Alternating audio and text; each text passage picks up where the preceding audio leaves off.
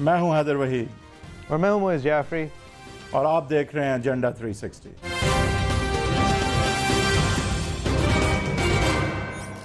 Welcome to agenda 360 آج کے شو کے اندر ہم بات کریں گے پی ٹی آئی کا جو اچھا خاصا ہفتہ گزر رہا تھا اس کو جمعے کے دن ایک بار پھر سے ون سٹیپ فارورڈ اور کوئی سو سٹیپس بیک ہوتے ہوئے نظر آیا پی ٹی آئی کی طرف سے عاطف میاں اور اکنامک ایڈوائزری کمیٹی کے حوالے سے جس کے اندر سے اب گیارہ سے کوئی آٹھ لوگ رہ گئے ہیں۔ اس حوالے سے ہم بات کریں گے آج ہم پی ٹی آئی کے اوپر اور پیپلز پارٹی کے اوپر جو چیلنجز چل رہے ہیں اور جو شہباز شریف صاحب نے پی ایم ایل این کی طرف سے اپنا دھاندلی کے حوالے سے مطالبہ ایک بار پھر سے سامنے رکھا ہے اس کی بھی بات کریں گے لیکن ہم پہلی سیگمنٹ میں بات we are privileged to be joined by doctor Farooq Sattar doctor صاحب تھینک یو ویری مچ جن سے ہم بات کریں گے ایک بڑی انٹرسٹنگ سیریز آف ڈیولپمنٹس ہیں۔ وحید صاحب آپ بھی ذرا ملاحظہ فرمائیے۔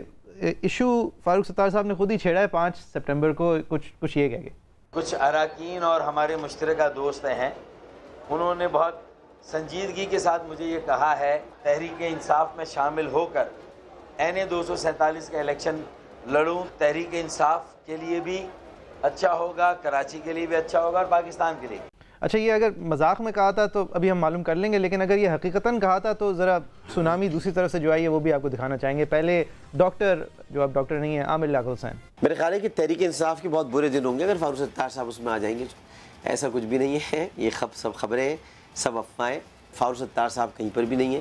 اور یہ انہوں نے اصل میں اٹینشن سیکر ہیں جو انہوں نے میڈیا کی اٹینشن لینے کی کوشش کی ہے کہ شاید انہیں پی ٹی آئی میں شمولیت کی دعوت دی جا رہی ہے۔ فیصل وابڈا فاروق ستار صاحب جو دن میں خواب دیکھ رہے ہیں اس حساب سے کہیں وہ یہ نہ کہہ دے کہ ہم ان کو یہ بھی آفر کر کہ وہ تحریک انصاف کے چیئرمین بن جائیں عمران خان صاحب کی جگہ۔ دوسری چیز یہ کہ ٹو فورٹی سیون کوئی ٹکٹ ہم نے آفر نہیں کیا نام کریں گے۔ سنجیدہ آفر تھی ڈاکٹر صاحب؟ بہت سنجیدہ آفر ہے اور نہیں میں تو کیا دیکھیں نا کوئی آفر کر آفر کر کے واپس تھوڑی لی ہے۔ اچھا۔ یہ تو ٹھیک ہے میں میں نے خاموشی اختیار کر کے یہ میسج کنوے کر دیا ہے کہ میرا پینتیس سال کا کریئر ہے پینتیس سال سے زیادہ کا۔ اور ایک میری جد و جہد ہے میں کسی ایک نام سے میری شناخت ہے میری پہچان ہے۔ اور ظاہر ہے کہ یہ سیاست میں مد و جذر ہوتے ہیں یہ ایک بڑی آزمائش ہے۔ کچھ سیٹوں پہ یقیناً ہماری پرفارمنس اچھی نہیں تھی اور ہم وہاں ہارے بھی ہوں گے لیکن بہت ساری سیٹیں ایسی ہیں جہاں ہمیں پتہ ہے کہ ہمیں ہرایا بھی گیا ہے۔ تو یہ پاکستان میں تو یہ سلسلہ چلتا ہے۔ انیس سو ستر کے الیکشن کہتے ہیں کہ صاف شفا ہوئے تھے اس کے بعد کوئی الیکشن صاف پی ٹی آئی میں کس نے آفر کی ہے؟ دیکھیں جن لوگوں نے آفر کی ہے وہ بہت باثر لوگ ہیں بہت مؤثر لوگ ہیں اور پی ٹی آئی کے اندر سے یا پی ٹی آئی کے باہر سے؟ بہت قریب ہیں۔ چیئرمین عمران خان صاحب کے ساتھ کے قریب ہیں ان پرائم منسٹر عمران خان کے قریب ہیں۔ کیا پھر؟ دیکھیں اب یہ ساری باتیں کہ اب آپ اگر فیصل واوڈا سے اس کی تردید کرا رہے ہیں یا عامر لیاقت اس کی تردید کر رہے ہیں تو وہ دونوں بھی اپنی پی ٹی آئی کے اندر بھی سٹینڈنگ کو ذرا سا اگر دیکھ لیں اور وہ اس وقت وہاں پی ٹی آئی میں کہاں ہیں کیا ہے میں یہ ساری باتیں کرنا نہیں چاہتا۔ میں یہی کہوں گا کہ ہوئے ہوئے تم دوست جس کے دشمن اس کا آسما کیوں؟ میرا تو صرف ان دونوں چھوٹے ہیں ابھی تربیت دے رہے ہیں ابھی ہیں۔ ایک کی تو ہسٹری بھی ہے آپ کی پارٹی میں۔ ڈاکٹر صاحب ایک بات بتائیں۔ آپ کو اگر کوئی چند سال پہلے کہتا کہ ایم کیو ایم کا پچیس سیٹوں سے سات سیٹوں کے سفر کے اندر اگر سب سے بڑا الزام الطاف حسین پہ لگتا ہے، دوسری سب سے بڑی کوشش مصطفیٰ کمال پہ لگتی ہے، تو تیسرا الزام آپ پر لگ رہا ہے۔ آپ نے پارٹی کے اندر ایک سٹانس لیا، کامران ٹسوری کی وجہ سے لیا، کس بھی وجہ سے لیا، جس کی وجہ سے دو نہیں، چار دھڑے۔ سر، ایم کیو ایم جو مذاق اڑاتی تھی پی ایم ایل کا فے اور قاف ہونے کا، وہ M Q M Bahadurabad Gulshan Iqbal, M Q M کچھ اور ایم کیو ایم کچھ کراچی کے اندر سپلٹ اور الزام آپ پر لگتا ہے کہ آپ نے کیا۔ تو وائی از اٹ دیکھیں میں سمجھتا ہوں کہ پہلی بات تو اگر یہ تو اتنی چیزیں بار بار پبلکلی زیر بحث آئی ہیں، میں نے اپنا ویو پوائنٹ رکھا ہے، لیکن میں سمجھتا ہوں اور میرے ساتھیوں نے اپنا ویو پوائنٹ رکھا تھا۔ اس کے باوجود بھی میں ہمیشہ یہ کہتا تھا کہ میں کسی حال میں ایم کیو ایم کو تقسیم نہیں ہونے دوں گا۔ میں نے ہمیشہ یہ اس عزم کا بھی بہت برملا اظہار کیا۔ چاہے پی ٹی آئی میں جانا پڑے۔ لیکن آپ لڑتے رہے جب تک کورٹ نے نہیں فیصلہ دے دیا آپ کے خلاف۔ نہیں نہیں نہیں نہیں ایسا نہیں ہے۔ حیدر وحید اللہ نہ آپ بڑے انویسٹیگیٹو جرنلزم کے ماننے والے ہیں۔ میری ساری تقاریر اس وقت کے اٹھا لیں۔ میں نے میں نے کہا ہر حال میں کہ ہم ایم کیو میں ایم کیو ایم کو ایک ہی رکھوں گا ایک ہی رہنے دوں گا۔ میں اس کی تقسیم کو کسی حال میں نہیں ہونے دوں گا۔ چاہے اس کے لیے مجھے کچھ کرنا پڑے۔ اور پندرہ جون کو جب میں نے یہ محسوس کیا کہ اس کے علاوہ کوئی اور نہیں ہے کہ اب یہ مستقل تقسیم ہو جائے گی۔ اب میں نے اپنی ساری عزت نفس ہو انا ہو عہدہ ہو اختیارات ہو میں پندرہ جون کو چاند رات پہ چلا گیا عید کا ایک کہاں کھڑے ہیں ایم کیو ایم میں؟ اگر خالد مقبول صدیقی کنوینر ہیں اب آپ کی حیثیت کیا ہے ایم کیو ایم میں؟ آپ محسوس کیا کر رہے ہیں کہ آپ اس پارٹی کا حصہ ہیں کلیدی حصہ ہیں ہیں ابھی بھی ایم کیو ایم میں؟ How do you feel about it میں بنیادی رکن میں سے ہوں اراکین میں سے ہوں۔ جب ایم کیو ایم کی بنیاد رکھی گئی تھی سیونٹی ایٹ میں میں نے سیونٹی نائن میں ابھی کیا سٹیٹس ہے؟ دیکھیں میرا سٹیٹس میں ایم کیو ایم کا ایک لازمی حصہ ہوں۔ میں ایم کیو ایم کے ہزاروں کارکنوں اور جو مجھ سے یہ جتنے بھی ساتھی آپ کو محسوس بھی کرایا جا رہا ہے کہ آپ لازمی حصہ ہیں؟ دیکھیں یہ تو میرا بیلیف ہے نا۔ اور میں اس پروسیس سے کبھی اپنے آپ کو میں نے علیحدہ نہیں کیا۔ کتنا ہی برا وقت پارٹی پہ آیا مجھ پہ آیا میں ناراض ہو کر بھی شاید کب کوئی ایک آدھ موقع ہو جب ناراض ہو کے بیٹھا ہوں۔ لیکن میری یہ ہسٹری رہی ہے میری اسٹرگل رہی ہے کہ میں نے کوئی نئی پارٹی نہیں بنائی۔ معذرت ڈاکٹر صاحب ناراض ہو کے بیٹھنے کی گنجائش ہی ایک سال سے پیدا ہوئی ہے سر ورنہ ناراض ہو کے غائب ہونے کی گنجائش ہوتی تھی۔ ہمارا پہلا تجربہ بھی تو ہے کہ ہم ایک ایسے اس میں اورا میں کام کر کے جہاں ہم رائے زیادہ دیتے تھے ہم جی۔ رائے دیتے تھے فیصلے آ جاتے تھے پھر فیصلے کا انتظار کرتے تھے۔ یہ گنجائش نہیں رہتی اب ذمہ داری ہمارے پاس بھی ہے تو یہ اختلاف جوائن کر رہے ہیں یا نہیں؟ اس اس طرح کا شدید دیکھیں جستجو کو حیدر وحید رہنے دیں دیں اور میں سمجھتا ہوں کہ یہ بہت دیکھیں بہت سارے لوگ خاموش ہیں نا جہانگیر ترین ہوں شاہ محمود قریشی ہوں بہت جو سینئر لیول کے لوگ ہیں۔ تو سر پھر تو یہ بھی کہا جا سکتا ہے کہ فیصل وابڈا اور عامر لیاقت کی تو اپنے ذات کی اپنی ذات کی پاور کے حوالے سے تھریٹ فیل ہو رہی ہے اس لیے شاید وہ سامنے آ رہے ہیں۔ ہو سکتا ہے پارٹی کے اندر دیکھیں جنہوں نے یہ آفر کی یا جنہوں نے یہ تجویز دی اور جنہوں نے کہا یہ بہت اچھا ہوگا اور کسی طرح اگر آپ اس بات پر تھوڑی سی بھی حامی بھرے تو ہم اس بات کو آگے بڑھا دیں گے اور اس بات کی گارنٹی ہے یہ ساری باتیں اچھا آپ نے کہا سر مشترکہ دوستوں نے بھی بات آگے کی ہے یہ وہ مشترکہ دوست بھی امپائر ہیں؟ دیکھیں نہیں سیویلینز ہیں کوئی اس میں مطلب کوئی بھی یونیفارم والا نہیں ہے بالکل یہ طے شدہ بات ہے۔ تو مطلب میں جب بات کروں گا تو میں بڑے وسوخ سے بات کروں گا میں ایسی کوئی ہوا میں بات کسی نے امپائر کا مطلب بتایا ٹی وی پہ۔ جی۔ دیکھیں میں نے تو کہہ دیا سیویلین ہے نا تاکہ مطلب ہے کہ خدا نہ خاصا کسی قسم سمجھ جائیں سیویلین سیویلین ہوتا ہے یا پھر نان سیویلین ہوتا ہے؟ نہیں نہیں نہیں سیویلین ہے پیور سیویلین ہے۔ اور میرے خیال ان معاملات میں میں نہیں دیکھتا کہ کوئی یونیفارم ڈاکٹر صاحب کیا سوچا پھر؟ جائیں گے؟ رول ہے۔ دیکھیں سوچ بچار کیا کرنا میں نے تو کہا کہ بتائیں کہ مجھ سے وہ کیا ایکسپیکٹ کرتے ہیں؟ میں میرا کیا رد عمل رد عمل ہونا چاہیے اور میرا کیا فیصلہ ہونا چاہیے؟ تو آپ نے کوئی یہ ریفرینڈم مانگا ہے یا اپنے دوستوں سے پوچھا ہے؟ میرے لیے بڑا انٹرسٹنگ بھی ہے کہ بہت سے لوگوں کے فون آ رہے ہیں بہت سے لوگ ایس ایم ایس کر رہے ہیں واٹس ایپ پہ ایک مسلسل سلسلہ چل رہا ہے ای میل آ رہی ہیں اور لوگ رائے دے رہے ہیں کوئی کہہ رہا ہے کہ خدا کے واسطے یہ دیکھیں پہلے شروع میں رائے آئی تھی۔ اٹینشن سیکنگ تو نہیں ہے کہیں پھر دیکھیں دیکھیں اگر اگر آپ میرے لیے یہ سوچتے ہیں کہ مجھے کیا اٹینشن کی مجھے ضرورت ہے کیا میں نے کبھی میری نیچر میں آپ نے میری دیکھیں یہ تو وہ اصطلاح اصطلاحیں ہیں جو کہ اگر عامر لیاقت بھائی خود غور کریں تو مجھے نہیں پتا بہت سارے لوگوں نے اکثر ان کے لیے اس اصطلاح کو استعمال کیا۔ تو شاید وہ یہ سمجھتے ہیں نہیں ڈاکٹر صاحب ہاؤ ڈو یو فیل کیا کیا چاہ رہے ہیں؟ اگر آپ کو ٹکٹ مل جائے کل پی ٹی آئی کی طرف سے لڑنے کے لیے تو ول یو ٹیک اٹ دیکھیں بات بات یہ ہے کہ آپ میں تو کہہ رہا ہوں کہ آپ موئیز بتاؤ نا آپ مجھ سے کیا ایکسپیکٹ کرتے ہیں؟ میں کیا فیصلہ کروں؟ سر میں سمجھتا ہوں اگر آپ اپنی ذاتی سیاست کے حوالے سے فیصلہ کرتے ہیں تو وہ کچھ اور ہوگا اور اگر اپنی لیگسی کے حوالے سے فیصلہ کرتے ہیں تو وہ کچھ اور ہوگا۔ تو آپ نے میرے پینتیس سال سے زیادہ کی جو میری جد و جہد ہے اس میں آپ نے کیا آبزر کیا؟ میں نے اپنی ذات کے لیے کبھی فیصلہ کیا؟ میں نے اصولوں پہ کیا؟ اگر اس میں بھی مجھے لگا میری یونٹی میری اسٹرینتھ میری انٹیگریٹی اور میری پارٹی تو پھر سر یہ ساری بات آپ کے لیے سنجیدہ تو نہیں ہے نا پارٹی چینج کرنا؟ کیا؟ یہ جو وہی تو کہہ رہا ہوں۔ تو اس کا مطلب یہ کہ کیا مجھ سے لوگ یہ ایکسپیکٹ کریں گے کہ میں کوئی ایسا عمل کروں گا کہ ایک نئی اچھا، دنیا میں نہیں کہہ دینا آپ رولائیں گے کیا؟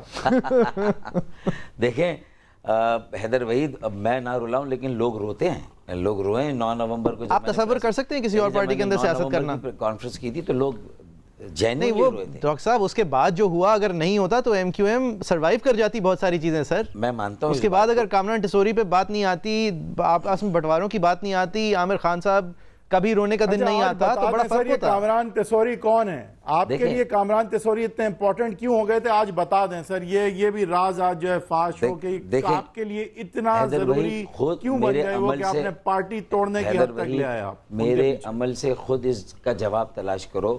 کہ اب کامران ٹسوری کدھر ہیں بھائی؟ بتائیے مجھے۔ اگر اب بھی لوگوں کو آپٹکس میں بہت ساری چیزیں ایسی نظر آتی ہیں کہ جس میں وہ یہ محسوس کریں، اور میرا اتنا بڑا دل ہے کہ میں نے کہا کہ میں نے اس بات کو بھی میں بینیفٹ آف ڈاؤٹ میں لیتا ہوں کہ اگر کچھ فیصلوں میں مجھے شامل میں نہیں ہوں یا نظر نہیں آ رہا ہوں کہیں پر، تو کوئی میری ضرورت نہیں ہے۔ ہماری پارٹی کی یونٹی کی اسٹرینتھ کی، جس گلوری پہ ہمیں واپس جانا ہے، جس کے لیے ہمیں تنظیم کی تمام خرابیوں بگاڑ کو جلد از جلد ٹھیک کرنا ہے جو ڈی موٹیویشن ہے ڈی مورلائزیشن ہے اس کو سر آپ نے پینتیس سال کی جدوجہد کی بات کی۔ پھر ہمیں بلدیاتی کارکردگی کو بہتر کرنا عوام سال کے اندر اور آخری بات جو ملک میں نئے صوبے بننے چاہیے اتنی آبادیاں ہو گئی ہیں اتنی آبادی ہو گئی ہے ملک کی اس قدر اور سندھ کی پنجاب کی اور نئے صوبوں کی بات کسی ضرورت کے لیے نہیں ہے بلکہ اس کے علاوہ کوئی اور حل نہیں ہے۔ اس کے اوپر ایک ریفرنڈم کرانا ہے دستخطی مہم کرانی ہے یہ سارے کام کرنے ہیں۔ اور پھر بلدیاتی انتخابات دو ہزار انیس میں نہیں دو ہزار بیس میں ہیں۔ آپ کا رول کہاں سے نکلے گا میری نظریں ان ان ان ڈاکٹر صاحب آپ نے پینتیس سال کے کریئر کی بات کی۔ اس پینتیس سال میں سے لگ بھگ پچیس اور سال تو آپ فرنٹ اینڈ سینٹر رہے ہیں سر۔ تو اب فرنٹ اینڈ سینٹر نہ ہونا بھی پرابلم ہوگی نا؟ مطلب عجیب لگتا ہوگا۔ دیکھیں فرنٹ اینڈ سینٹر تو ڈاکٹر شرط العباد بھی تھے اس زمانے میں. ان کو بھی عجیب لگتا ہے بابر غوری تھے عادل صدیقی تھے. ان سب جن سب لوگوں کے آپ نام کر رہے ہیں نا سر؟ میری بات مصطفیٰ کمال تھے. ان کو بھی پرابلم ہوتی ہے سر دیکھیں انہیں. اس ہو سکتا ہے کہ اس وقت پارٹی میں ابھی تک اپنے ووٹ گن رہے ہیں. اس وقت پارٹی میں پالیسی میکنگ میں میرا اس طرح سے ایکٹیو رول نہ ہو. بہت سارے لیکن فرنٹ اینڈ سینٹر تو تھے. لیکن میں فرنٹ اینڈ سینٹر تو پھر اس وقت بھی رہا تھا. تو سر اب ذرا مشکل ہوتا ہوگا نا؟ بالکل ہرگز نہیں. مجھے دو ہزار دو کے الیکشن میں مجھے ٹکٹ نہیں دیا گیا تھا. قومی صوبہ اسمبلی کے الیکشن میں میں رابطہ کمیٹی کا پارٹ بھی نہیں تھا۔ شاید آپ نے وہ دس پندرہ سال کی وہ ہسٹری نہیں دیکھی ہے۔ اور میں جب کارکنوں کے اجلاس میں جا بیٹھا رابطہ کمیٹی میں کے میں کارکنوں کے ساتھ جا کے بیٹھا تھا۔ آج کل کی افواہیں ہیں اس طرح کی افواہیں آپ کے بارے میں نہیں تھیں۔ جی؟ جو آج کل کی افواہیں پی ٹی آئی کی آپ اور علی رضا عبدی کی نئی پارٹی بنانے کی پی ایس پی ٹو بنانے کی یہ افواہیں پہلے نہیں تھیں یہ چاہے آج جھوٹ ہوں آپ کلیئر جواب ابھی نہیں دے رہے۔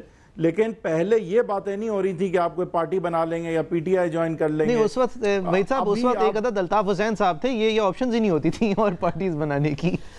دیکھیں حیدر وحید بات یہ ہے کہ نئی پارٹی بنانا بھی کوئی سلوشن ہے؟ جن تین چیزوں کو میں ہدف بنا رہا ہوں فوکس کر رہا ہوں مجھے بتائیں۔ جس میں میں نے کہا کہ تنظیم ہے کیا یہ مصطفیٰ کمال کے ایڈونچر کے بعد؟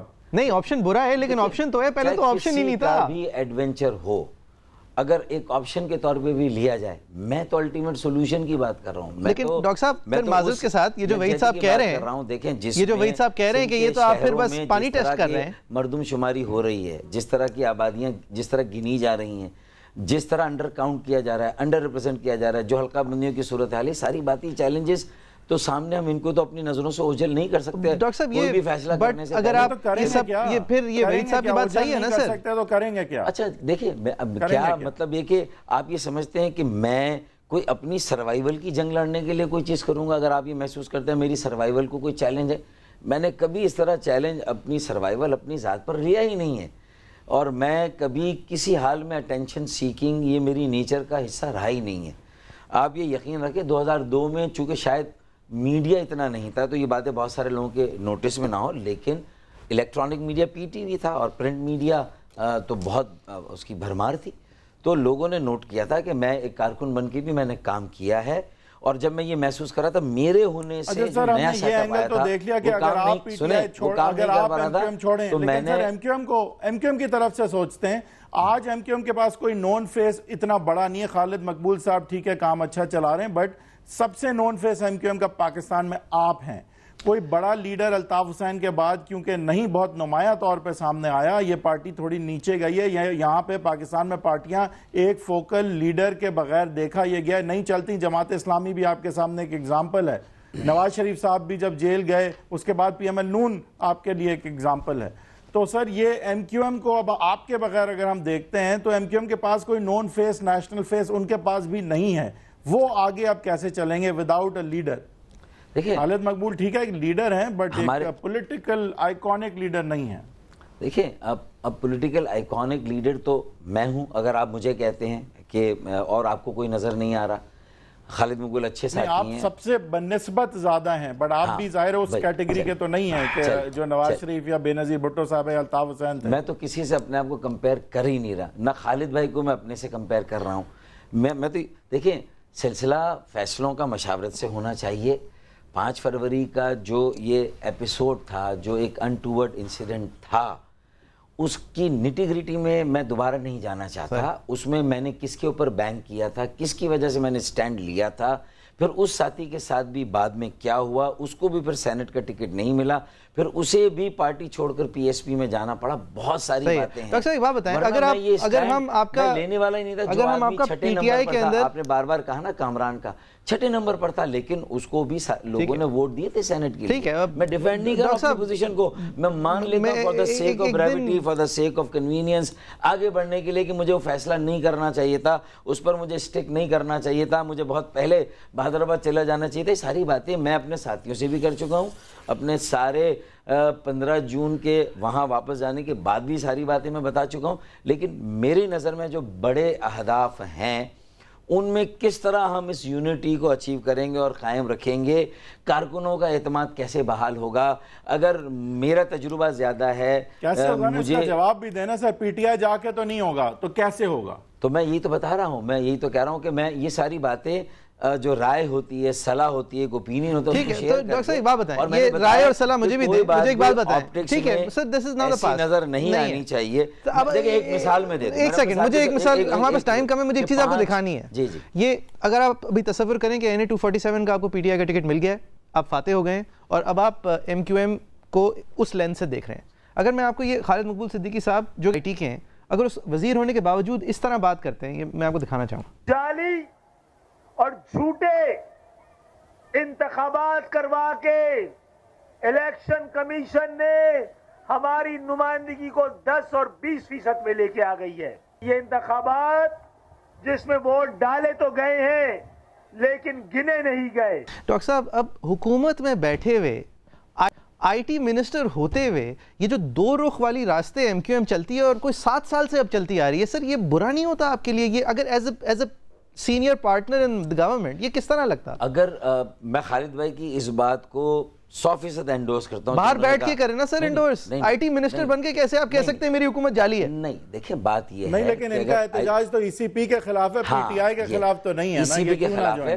اور ہم ہم نے پی ٹی آئی کو جیسے ہمیں محسوس ہوگا کہ وہ بھی اس کاؤنٹنگ کے دوران دھاندلی میں یہ پولنگ کے دوران نہیں طریقے واردات مختلف تھا میں نے کہا نا۔ تو اگر یہ پولنگ کے دوران نہیں کاؤنٹنگ میں ہوا ہے اور اس میں پی ٹی آئی کا پولنگ ایجنٹ بھی کاؤنٹنگ ایجنٹ ہمارے پولنگ کاؤنٹنگ ایجنٹ کے ساتھ نکال دیا آپ کہہ رہے ہیں آپ کہہ رہے ہیں کہ الیکشن کمیشن نے لیجیٹیمیسی آپ سے چھینی اور اوور لیجیٹیمائز کیا پی ٹی آئی کو۔ اور آپ پھر ان کے اوور لیجیٹیمائز کرنے کے ہاتھ مزید مضبوط کر رہے ہیں ان کے ساتھ جا کے حکومت میں بیٹھ کے۔ پھر حکومت میں بیٹھ کر بتا رہے ہیں کہ ان کی لیجیٹیمیسی اصلی کیوں نہیں ہے؟ ان کو مستحکم کرنے کے لیے نہیں کر رہے۔ حکومت کر تو رہے ہیں نا انہیں مستحکم۔ نہیں ایسا مجھے بالکل دیکھیں اپنی جان بچا کے۔ اپروچ جو اس مسئلے کی طرف آپ کی اپروچ ہے وہ بنیادی طور پر تھوڑی سی غلط ہے۔ مطلب آپ بلیک اینڈ وائٹ میں ہر چیز کو ایک دوسرے سے جوڑ رہے ہیں۔ دھاندلی کے خلاف لڑنا یہ وہ عمل ہے جس میں میں اپوزیشن کی جماعتوں کے ساتھ بیٹھوں یا میں حکومت کی جماعتوں کے ساتھ ایک حکومت کی لیجیٹیمیسی کو یہ ایک چیلنج کرنا میری پالیٹکس ہے۔ اور ساتھ ساتھ حکومت کے ساتھ بیٹھنا۔ دیکھیں اس میں اس حکومت کی لیجیٹیمیسی کو چیلنج کر سکتا ہوں کہ انہیں جتایا گیا ہے۔ اسی لیے میں ان کے ساتھ ہوں۔ کسی ریفری نے جتایا گیا کسی امپائر نے جتایا ان کے ان کے جائز حصے سے زیادہ ان کو سیٹیں دی گئیں۔ نواز شریف مریم کے لاہور میں اپنی آنے اور گرفتاری دینے کے بعد کی جو صورتحال ہے اس میں جو سیٹیں وہاں کم ہو گئیں جو کیلکولیشن آؤٹ ہو گئی وہ ہمیں بلی چڑھا کر کراچی سے لی گئی ہیں۔ یہ بڑا موقف ہم نے کھلا رکھا ہے۔ ہم نے کہا چھ گھنٹے کی ریکارڈنگ ہمیں دکھا دیں۔ جو سات بجے سے رات کو بجے گی پولنگ اسٹیشن دیکھیں نیکسٹ یہ ہے کہ ایک تو تنظیم کو ٹھیک کریں بلدیاتی کارکردگی کو ٹھیک کرنا ہے اور یہ صوبوں کی انتظامی یونٹس کی تحریک کے لیے لوگوں میں جانا عوام میں جانا انہیں موبلائز کرنا ہے۔ یہ اس کے علاوہ حل نہیں ہے یہ موجودہ بلدیاتی نظام اس طرح لولا لنگڑا اگر پی ٹی آئی ایک آپ کے لیے سنجیدہ لیجیٹمیٹ آپشن ہے؟ دیکھیں میری پارٹی نے جو بھی ان کے ساتھ معاہدہ کیا ہے میں بھی ایک پروپوزل بنا رہا ہوں، جس میں کانسٹیٹیوشنل لیجسلیشن کی ضرورت ہے۔ ہمارے پاس دو تہائی نہیں ہے پی ٹی آئی کے پاس ایم کے کے پاس۔ لیکن ہمیں ایک دوسرے کے ساتھ کمپلیمنٹ کرنا ہوگا کمپیٹ کر کے شاید ہم ستیہ ناس کر دیں گے اپنے ووٹر کا، چاہے میرا ہو، چاہے پی ٹی آئی کو اور میں پی ٹی آئی کا ایک ووٹ بینک کریٹ ہوا، میں اتنا ریئلسٹک ہوں۔ میں اس سے بھی انکار نہیں کر رہا ہوں کہ کراچی میں ان کا اب ایک ووٹ بینک کریٹ ہو گیا ہے بن گیا ہے۔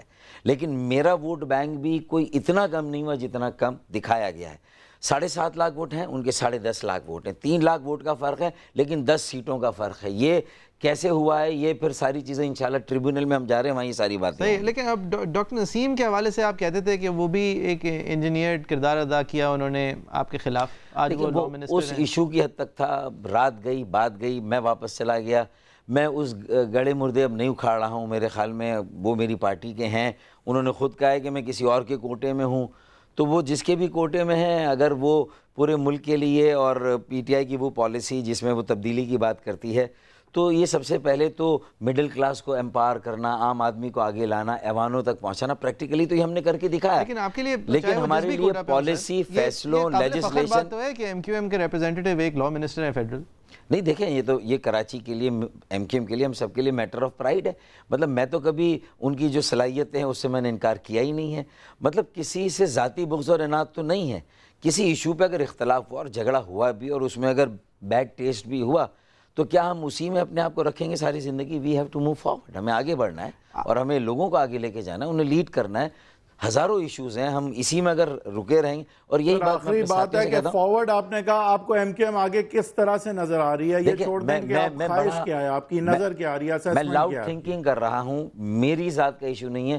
پانچ فروری کی پوزیشن میں جو ہمارے ایسٹ ایک ایک ورکر ہمارا ایسٹ ہے چاہے میرے ساتھ کھڑا ہوا چاہے میرے بہادر آباد کے ساتھیوں کے ساتھ کھڑا ہوا۔ لیکن اب چونکہ ہم ایک ایک ہیں ہم تو اس کا مطلب ہے کہ وہ سارے ساتھی پانچ فروری کی پوزیشن میں چلے جائیں کوئی لیگیسی رہنے نہ دیں کہ سانپ اگر نکل بھی گیا تو لکیر نہیں رہنی چاہیے اس لکیر کو بھی ہمیں مٹانا ہے اور اس کے لیے ہمیں مل کر کوشش کرنی ہوگی یہ وے فارورڈ ہے۔ اور میں اسی کے لیے اصرار کر رہا ہوں اسی پر میں زور دے رہا ہوں انشاءاللہ اس اس کو اگر ہم مل کے کریں گے تو انشاءاللہ بہت جلدی یہ جو نظر آتا ہے کہ آپٹکس میں کہ یہ کوئی فرق ہے انشاءاللہ یہ بھی ختم ہو جائے thank you very much doctor صاحب بہت شکریہ آپ کے وقت کا. ایک بریک بریک کے بعد ہوں گے تو جے آئی ٹیز جو پیپلز پارٹی کے خلاف اب بن رہی ہیں اور شہباز شریف صاحب دھاندلی کے بارے سے بات کر رہے ہیں اس کی بات کریں گے. کیپ واچنگ کہ جتنا بھی مشکل ہو تصور کرنا چند سالوں پہلے اگر بندہ آدمی سوچتا لیکن آج دھاندلی کا الزام ایک بار پھر اٹھ رہا ہے یہ کوئی بہت زیادہ حیران کن بات نہیں ہے۔ لیکن اٹھ رہا ہے عمران خان صاحب کے خلاف اور عمران خان صاحب کو فیل کرنے وہی سارے ایشوز وہی سارے جذبات جو خان صاحب نے پانچ سال تواتر سے حکومت کے اوپر حکومت کے خلاف اظہار کیے ہیں، چاہے وہ کنٹینر پر کھڑے ہو کے کیے ہوں، چاہے وہ ٹیلی ویژن پہ کیے ہوں، چاہے وہ پارلیمان کے اندر جو کہ وہ بہت کم جاتے تھے، لیکن پارلیمان کے اندر سے بھی کیے ہوں۔ عمران خان صاحب جب پہلی پریس کانفرنس کی انہوں نے تو بڑے ریگل انداز میں، بڑی لچک کے ساتھ خان صاحب پیش آئے۔ اور جو الزامات پی ایم ایل نون اس وقت بھی اٹھا رہی تھی الیکشنز کے بعد چھبیس تاریخ کو الیکشن کے اگلے دن جب نتائج جو ہیں وہ لگ بھگ سامنے آ چکے تھے۔ عمران خان صاحب نے ان الزامات کا، کے اندر سے تقریباً ہوا نکال دی، یہ کہہ کے۔ آج پولیٹیکل پارٹیز کہہ رہی ہیں، دھان لی ہوئی۔ میں آج یہ کہتا ہوں کہ جو بھی آپ کسی حلقے میں آپ کہتے ہیں، دھان لی ہوئی، ہم آپ کی پوری مدد کریں گے۔ ہم ہم سارے حلقوں کو کھلوائیں گے جو آپ کہتے ہیں کہ جس میں دھان لی ہوئی۔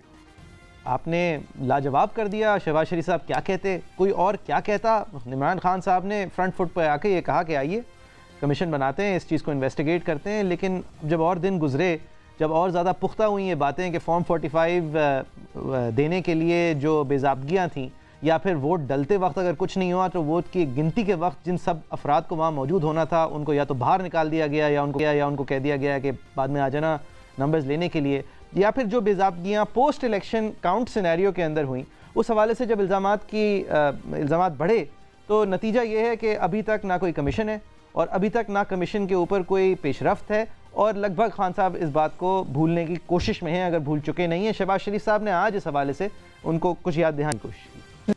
اس میں کوئی دو رائے نہیں کہ عمران خان نیازی صاحب عوام کے ووٹوں سے نہیں، بلکہ دھاندلی کی پیداوار ہیں سترہ اگست کو اسمبلی ہال میں عمران خان نیازی صاحب نے مجھے یہ کہا ہم پارٹی کمیشن بنانے کے لیے تیار ہیں، اس کا میں اعلان کروں گا۔ آج تین ہفتے گزر گئے، اس کو بھی حکومت نے سرکاری طور پر اس کا نوٹیفیکیشن نہیں کیا۔ اور مجھے امید ہے کہ یہ ماضی کی طرح یو ٹرنز میں ایک اور اضافہ نہیں ہوگا۔ جب تک یہ کمیشن نہیں بنتا، ہم کسی کارروائی کو آگے نہیں بڑھنے دیں گے۔ اور خان صاحب کو کسی غلط فہمی میں نہیں رہنا چاہیے کہ یہ الائنس ہر صورت یہ کمیشن بنوا کے رہے گا۔ بھائی صاحب، میرے نظر نظر میں دو فرق ہیں۔ ایک تو یہ کہ جو اس دفعہ احتجاج کرنے والی پارٹی ہے، اس کو احتجاج کرنے کی کوئی دلچسپی نہیں ہے یعنی کہ شہباز شریف صاحب کو۔ اور دوسرا یہ کہ خان صاحب کو اب پریسیڈنٹس کا بھی فائدہ اٹھا سکتے ہیں۔ انہوں نے دیکھا تھا پچھلی کمیشن کا کیا نتیجہ نکلا تھا۔ لہٰذا بنانے میں کوئی کوئی جھجک تو نہیں ہونی چاہیے۔ نہیں، میرا نہیں خیال، وہ بالکل بھی قطن چاہیں گے بنانا۔ خامہ خامے کسی بھی اس طرح کے گرے ایریا میں خان صاحب نہیں جانا چاہیں گے۔ شہباز شریف صاحب خود تو موٹیویٹڈ نہیں ہے لیکن آئی تھنک وہ اتنا ضرور انشور کرنا چاہیں گے کہ یہ ایک فیکٹر یہ ایک ایشو رہے ٹیبل پہ رہے یہ ایشو کیونکہ دیکھیں، کہیں بھی خان صاحب کا جب برا وقت آئے گا نا، تو ایک دم سے آپ دیکھیں گے کہ یہ ایشو ایک دم سے پھر ابھر سکتا ہے. ایون جب خان صاحب دھاندلی کی بات اٹھاتے تھے، نواز شریف صاحب کے خلاف، تو اس میں بھی اپس اینڈ ڈاؤنز اور ایبز اینڈ فلو ہوتا تھا. ہمیشہ یہ بات سرگرم نہیں رہتی تھی اور پھر جہاں چانس لگ جاتا تھا، وہاں دھرنا ہو جاتا تھا. تو میرے خیال سے اس ایشو کو الائیو رکھنا چاہیں گے شہباز شریف صاحب۔ ابھی لوہا اس طرح گرم نہیں ہے اور نہ وہ اس طرح کے آدمی ہیں کہ اس کو گرم کر سکیں۔ تو میرا یہ خیال ہے کہ یہ خود سے خان صاحب نہیں کھولیں گے جس طرح میاں صاحب نے بھی خود سے نہیں خود سے نہیں کھولیں گے لیکن آپ خیال میں جب پچھلی دفعہ جو انہوں نے پچھلی دفعہ جب کھلا تھا تو چوہا نکلا تھا یہ بات صحیح ہے نہیں یہ بھی صحیح لیکن اگر اس دفعہ چلیں بہت بہتر طریقے سے بھی اگر انویسٹیگیشن ہو سکتی ہے۔ ایک چیز آپ جب آفر کر چکے ہیں ایک پوزیشن آپ لے چکے ہیں گریس دکھا چکے ہیں آپ کے سامنے والوں کا بھی یہی ایک کارڈ رہ گیا ہے جو وہ پارلیمان میں آ کے بارہا آپ کو ڈسٹرب کر سکتے ہیں۔ یہ نظر آ رہا ہے کہ آپ جب ڈسٹرب ہوتے ہیں تو آپ بالکل ہی پٹری سے اتر جاتے ہیں۔ تو یہ خان صاحب کے بھی فائدے میں ہی ہے ان دا نیٹ کہ کوئی کسی بھی شکل کی، چاہے وہ جتنی بھی فرینڈلی ہو، ایک کمیشن بنا دی جائے۔ دیکھیں، میرا نہیں خیال کہ وہ کمیشن ایک فعال کمیشن کم سے کم میرا نہیں خیال کہ وہ بنائیں گے۔ وہ جس طرح کی ان کی جو آفر تھی کہ کوئی بھی حلقہ میں سارے حلقے کھولنے کو تیار ہوں وہ تو کلیئر ہے کہ وہ یوٹرن اس پہ لے چکے ہیں۔ اگر آگے پریشر پڑا تو شاید انہیں ری وزٹ کرنی پڑی ہے بات لیکن ابھی کا ان کا stance at least conduct wise تو یہی نظر آ رہا ہے کہ وہ کچھ بھی نہیں کھولنے والے۔ صحیح ہے شہباز شریف صاحب نے آج یہ دھاندلی کی تو ہم نے بات کر لی۔ شہباز شریف صاحب کے علاوہ دھاندلی کے بعد جو حکومت میں آئے ہیں جو یہ hundred days of honeymoon ہے اس کے اندر اس حکومت کی کارکردگی کے حوالے سے بھی بات کیا ہے میں دکھانا چاہوں گا۔ پہلے بیس دنوں میں جسے کہتے ہیں کہ سر منڈاتے اولے پڑے، گیس، بجلی، کھاد کی مدوں میں ان کی قیمتوں میں ہوش ربا اضافہ کر دیا گیا ہے۔ میں نے میں نے اپنے سارے پولیٹیکل کیریئر میں کوئی ایسی حکومت نہیں دیکھی۔ ہر حکومت چاہے وہ جس طرح بھی آئی، وہ پہلے سو دن تو ان کے ہنی مون پیریڈ ہوتا تھا۔ یہ پہلی حکومت ہے کہ ڈے ون سے ہی ہر معاملے کے اوپر ان کی جگہ ہو رہی ہے۔ اچھا لگ بھگ ہمارے شو کا کیونکہ یہ تباتر سے یہی رائے رہی ہے تو میں مزید اس کو آگے بڑھانے کے بجائے وہی صاحب آپ کا کیا خیال ہے؟ دیکھیں جہاں تک بات ہے کہ ریزلٹس کا تو ابھی میں سو دن تک کوئی ریزلٹ نہ آنے کی یا کوئی غلط ریزلٹ آنے پہ کوئی بہت زیادہ بات نہیں کروں گا لیکن میں ان ساری چیزوں اور مہنگائی کی جو باتیں ہیں ان سے پہلے یہ ضرور سمجھوں گا کہ ایک بات ضرور جائز ہے کہ اگر آپ نے کوئی مٹیریل فیصلے اس حکومت کے اگر آپ نے دیکھے اور آپ سمجھے کہ وہ آگے کی سمت اس طرح سے طے کرتی ہیں کہ آگے آنے والا وقت انیویٹبلی ان فیصلوں سے افیکٹ ہوگا یعنی سی ایم پنجاب کا جو چناؤ ہوا، جو سی ایم پختونخوا کا انتخاب ہوا جو کیبنٹ پک کی گئی وہ نئے پاکستان کی طرف کیا جاتی پاکستان کو لے جاتی، نظر آتی ہے، اس پہ بات ضرور ہونی چاہیے۔ اور جہاں تک یہ مہنگائی کی بات ہے اس کو اس کی کڑی جو ہے وہ پچھلے ٹینیور سے جوڑی جائے گی ابھی اور بہت واضح طور پہ اس کا الزام شاید عمران خان پہ نہیں ڈالا جا سکتا ہنی مون پیریڈ میں ایک کولیٹرل ہوتا ہے اس کا پورا استعمال خان صاحب ضرور کر چکے ہیں میرے خیال سے آپ آنے والے وقتوں میں دیکھیں گے میں اس جی۔ گیس ایشو پہ کامنٹ جی۔ کرنا چاہتا ہوں کیونکہ I've tried to read up on it جی۔ یہ دیکھیں یہ ہماری افسر شاہی کا ایک لانگ سٹینڈنگ مطالبہ تھا کہ گیس کے اندر جو لائن لاسز کو پورا کرنے کی جو ان کے اوپر ایک کڑک، ایک مشکل کام ان کو دیا جاتا ہے کہ آپ انفراسٹرکچرلی پولیس کریں، اس جس وجہ سے گیس کے اندر پھر ہماری لاسز ہوتے ہیں، اس کا ایک، ان کا عام فکس یہ ہوتا ہے کہ وہ بڑا مشکل ہے، وہ نہیں کرتے، آپ ایک کام کریں، آپ گیس کی نرخ بڑھا دیں۔ اب یہ نرخ بڑھانے والا جو پش لگتی ہے، وہ ہر حکومت آ کر تواتر سے افسر شاہی کو پش بیک کرتی ہے، کہتی ہے نہیں، آپ اپنا کام بہتر کریں، اپنے فرض نبھائیں، نہ کہ آپ عوام کے اوپر یہ کاسٹ پاس آن کر دیں۔ چوری کی، ناقص انفراسٹرکچر کی، جو بھی۔ اب وہی صاحب، یہ جو نوٹیفیکیشن ابھی قانون تو نہیں بنی ہے اور میڈیا بھی اس کو ڈیو سپیس دے رہی ہے عمران خان صاحب کو، اس کے قانون بننے کا انتظار کر رہی ہے۔ لیکن جو جو عمران خان صاحب نے اکنامک کمیٹی کو بھیجا ہے فار اپروول وہ اس وہ جو گیس نرخ کی انکریز ہے، اس کے اندر پاور پلانٹس اور فرٹیلائزرز کے لیے بیس تیس فیصد انکریز ہے۔ لیکن پہلا سب سے بڑا انکریز اس بنیادی گیس یوزر کے لیے ہے جو سو یونٹ سے کم یوز کر رہا ہے اس کے لیے ڈیڑھ سو فیصد سے زیادہ انکریز ہے۔ اب یہ ریگریسو پالیسی نہیں ہے تو کیا ہے؟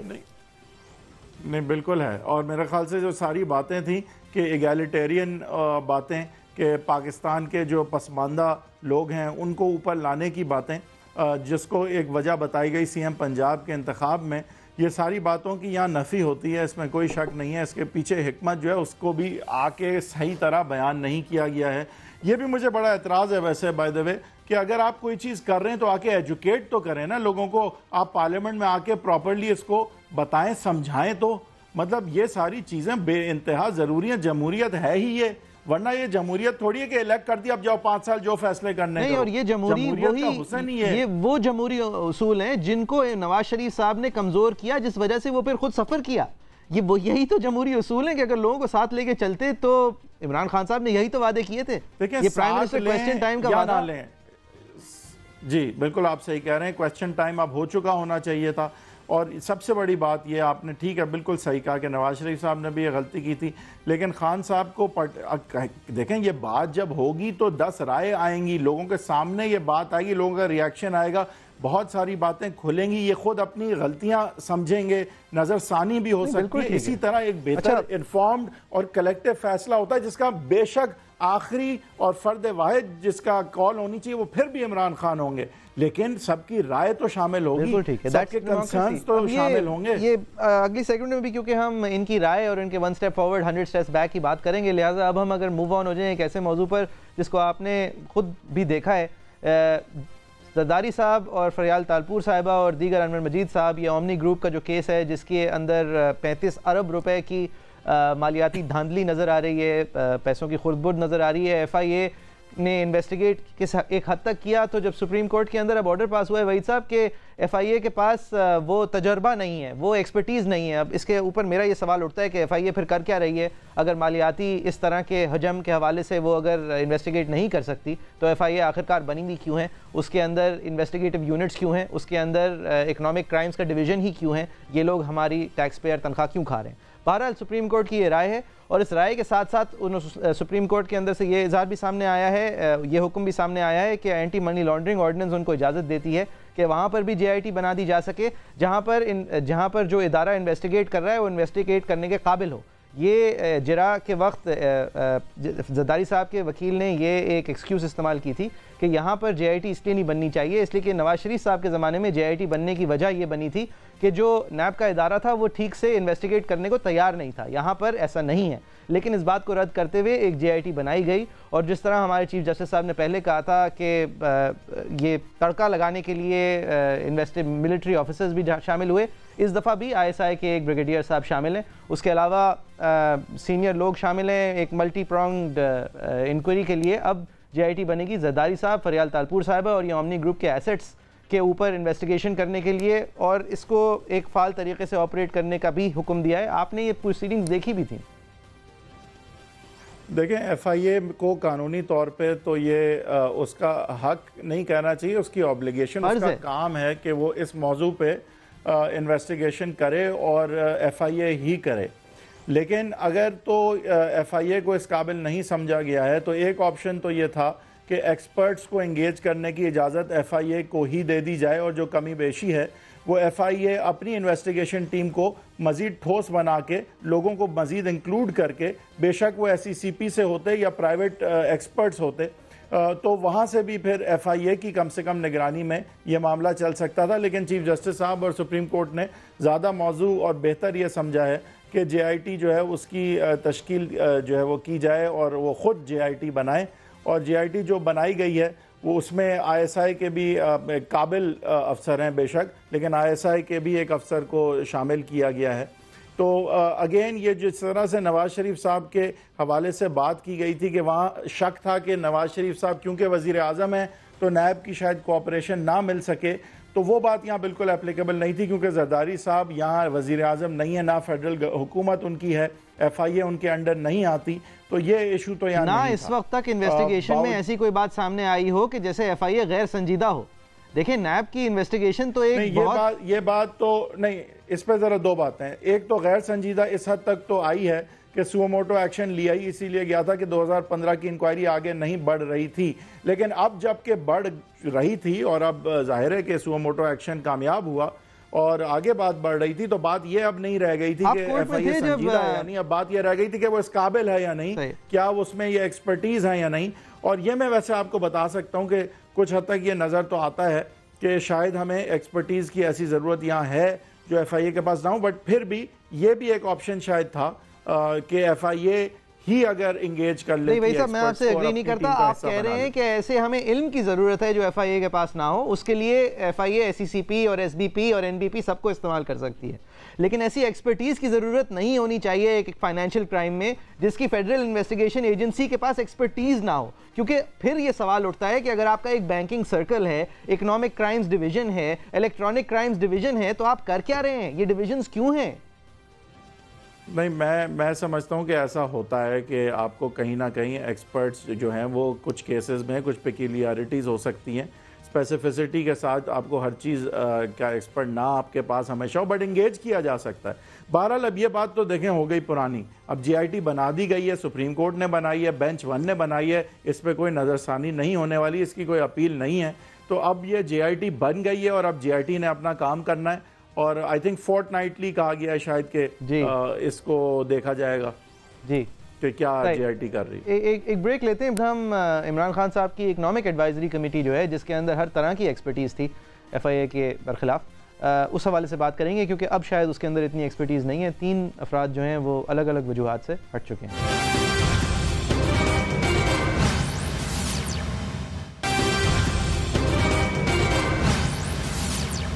ویلکم بیک ہماری معیشت کیونکہ ایک بہت حساس اور بہت نازک معاملہ ہے ہماری حکومت کے لیے، کسی بھی حکومت کے لیے اور ڈسکشنز ہمارے پچھلے الیکشنز کے اندر بھی اور اس الیکشنز میں بھی، خاص طور پہ اس الیکشنز میں کانورزیشن بھی اس بات کی ہوئی تھی کہ پچھلے الیکشن میں پیپلز پارٹی کی بددیانتی کی وجہ سے اور مالی بے ضابطگی کی وجہ سے اور اس الیکشن میں اساق ڈار صاحب کی سینٹرلائز مینجمنٹ کی وجہ سے سب سے سینٹر اور سب سے سینٹرل اور سب سے بڑی پرابلم پاکستان کے لیے اس کی معیشت اور اس کی معیشت کی ہینڈلنگ کی ہے۔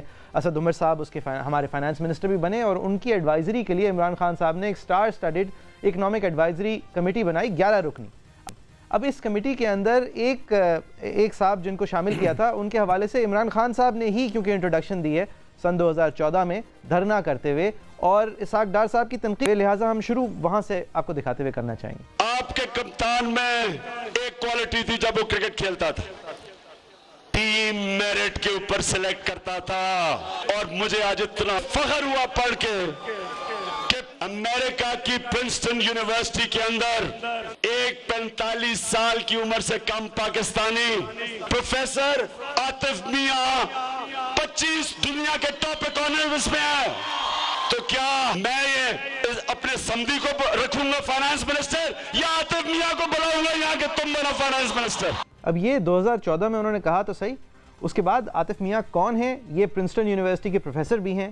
ہاؤس آف ڈیٹ ایک کتاب ہے، اس کے وہ آتھر بھی ہیں۔ اس کے علاوہ پچیس ینگ بریلینٹ اکانومسٹ کے اندر ان کا نام بھی ہے اور میکرو اکانومسٹ ہیں یعنی کہ ملکی لیول کے اوپر جو اکنامک پالیسی ہوتی ہے، اس کے خاص طور پر ماہر ہیں۔ اچھا اس سب کچھ کے بعد ایک بات اور سامنے آئی کہ عاطف میاں صاحب کی ذات کے حوالے سے، کیونکہ وہ احمدی فیت کے ہیں، لہٰذا اس کی وجہ سے ایک کانٹروورسی سامنے آئی۔ اس کانٹروورسی کو پہلے تو فواد چودھری صاحب نے کافی کافی وسفرسلی کافی سٹرینگ کے ساتھ ہینڈل کیا۔ آپ کو دکھانا ہے، چار ستمبر کو فواد چوڑی صاحب سے جب یہ سوال کیا گیا تو انہوں نے کیا کہا؟ ایک آدمی ہے جس کے بارے میں پوری دنیا کہہ رہی ہے کہ اگلے پانچ سال میں نوبل پیس پرائز اس کو ملنے والا ہے۔ اکنامک ایڈوائزری کونسل میں اس کو لگایا ہے۔ کوئی اس کو اسلامی نظریاتی کونسل کا ممبر تو نہیں لگا دیا یا کسی اور کا ممبر تو نہیں لگا دیا؟ اور پاکستان اقلیتوں کا بھی اتنا ہی ہے جتنا کہ پاکستان میں جو اکثریت اکثریت ہے ان کا اتنا ہے۔ تو مجھے نہیں لگتا اس کے اوپر کسی کو بھی کوئی اعتراض کرنا چاہیے۔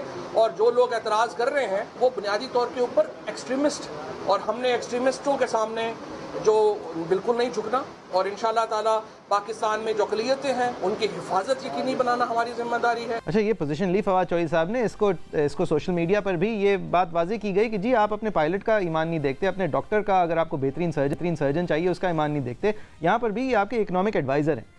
لیکن دوسری طرح سے بھی کیونکہ پش بیک آئی، لہٰذا پی آئی ڈی کے پلیٹ فارم پر سے اگلے دن پانچ ستمبر کو فواد چوئی صاحب نے ایک بار واضح کیا، ان کی رائے کیا ہے؟ وہ لوگ ہمیں ڈکٹیٹ کریں، ایک سے ایک سیٹ نہیں ہے جن کی، وہ ہمیں بتائیں گے کہ یہ اسلام یہ ہے نہیں۔ یہ دیکھیں، ریاست پاکستان فیصلہ کرے گی کہ پاکستان کی ریاست کس طرح سے چلنی ہے۔ ہم سمجھتے ہیں پاکستان کا آئین جو ہے، وہ اقلیتوں کی حفاظت کا درس دیتا ہے اور حکومت کے پاس یہ اختیار ہی نہیں ہے کہ وہ اقلیتوں کے خلاف اقدامات کرے ہم قرآن قرآن پاک کے باہر اور اسلام کی جو تعلیمات ہیں ان کے بغیر کوئی قانون بنا نہیں سکتے۔ اور اسلام کا قانون یہ ہے کہ آپ اقلیتوں کی حفاظت کریں، اس لیے انشاءاللہ تعالیٰ اس ملک میں اقلیتوں کی حفاظت ہوگی۔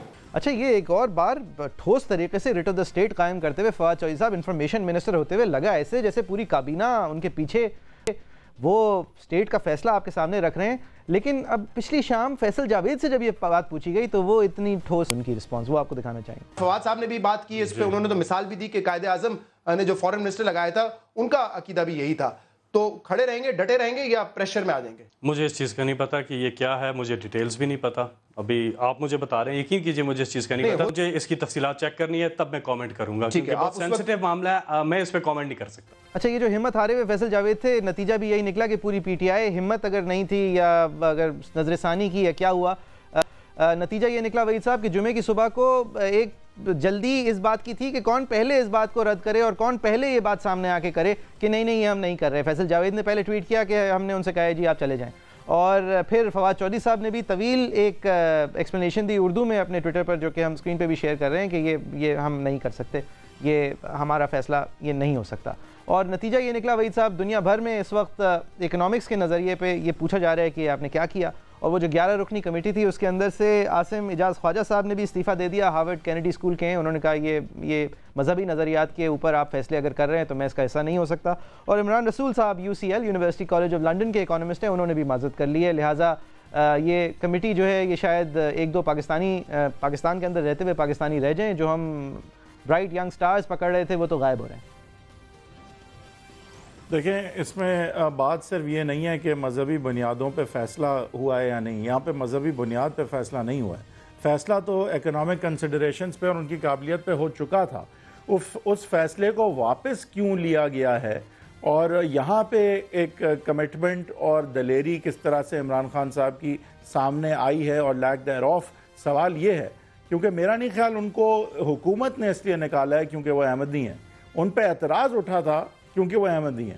حکومت نے اس لیے نکالا ہے کیونکہ وہ پریشر نہیں لے سکی، اپنے ڈیسیجن کے ساتھ نہیں کھڑی ہو سکی اور انہوں نے مسئلیت پسندی اس حد تک دکھائی کہ انہوں نے کہا کہ حالانکہ اس وقت اکنامک نیڈز اور یہ ساری چیزیں سب سے زیادہ ضروری ہیں حکومت کے لیے، لیکن جہاں پولیٹیکل پریشر اس طرف سے آتا ہے تو یہ حکومت سٹینڈ لینے کو تیار نہیں۔ ہے اب یا تو ان کو یہ اپوائنٹ نہ کرتے، اب کر کے جب سٹینڈ نہیں لیا تو آپ دیکھیں یہ کمیٹی بالکل ڈیزالو ہو رہی اور یہ کمیٹی ایک وہ کمیٹی تھی جعفری صاحب جو ان like C M Punjab C M K P K واقعی میرٹ پہ بنی تھی۔